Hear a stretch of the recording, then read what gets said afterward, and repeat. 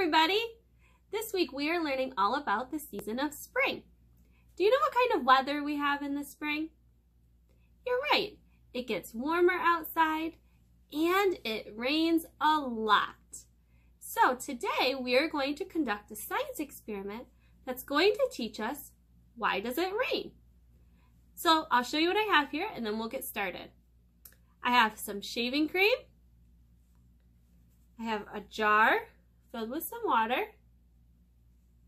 And then I have a smaller cup with some water and I've added a couple drops of blue food coloring to it.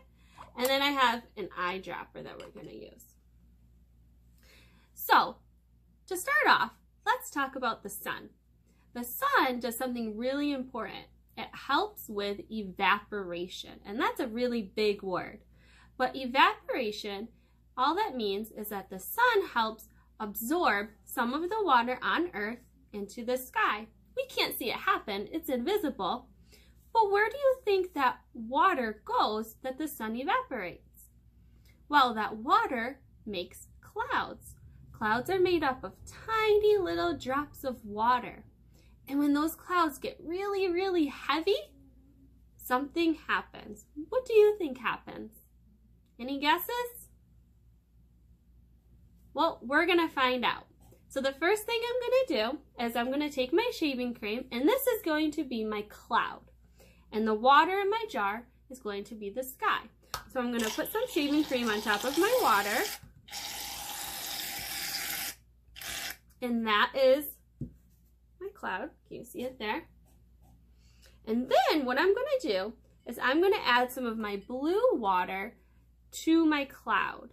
And this water is going to make the cloud really, really heavy. And when a cloud gets really heavy and gets full of little tiny drops of water, we're going to find out what happens. So keep your eye on the sky down here as I squeeze in the water into the sky. And see if you notice anything happening. So I'm going to keep squirting this water in. And that cloud is absorbing all of the water.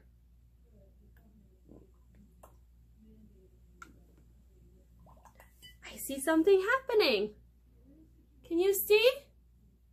The cloud got really heavy with all of the water and it started to rain. The water in the cloud came down in the form of rain. So that's what happens, friends. When those clouds get really heavy and when all of those drops of water, it rains. So next time it rains outside, I want you to tell whoever you're with, your friends, your mom or dad, you can tell them why it's raining. I hope you had fun today. I know I did, and I hope to see you all very soon. Bye-bye.